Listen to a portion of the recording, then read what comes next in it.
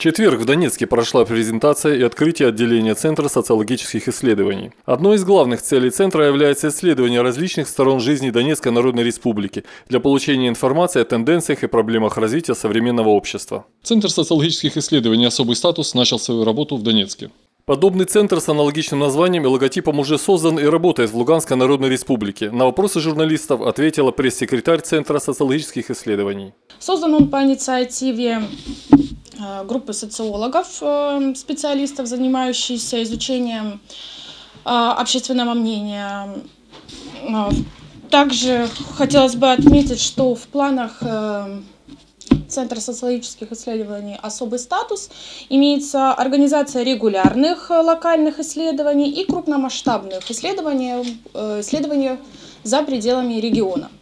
Разместился центр в Доме профсоюзов на улице Горького, 146. Директор Центра исследования дала нам эксклюзивное интервью. Я так считаю, что на данный момент очень актуально нам исследовать рынок, как политический, так и экономический, потому что очень много людей интересуют разные вопросы.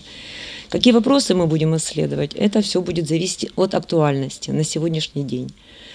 А, наше, наше предприятие очень молодое, и мы только-только делаем первые шаги и надеемся, что у нас будет все хорошо, нам будут помогать очень многие люди.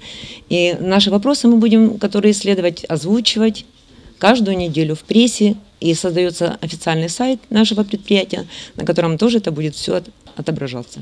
Услугами центра смогут воспользоваться средства массовой информации, политические партии и движения, органы власти, неправительственными, региональные международные организации, эксперты и финансовые учреждения.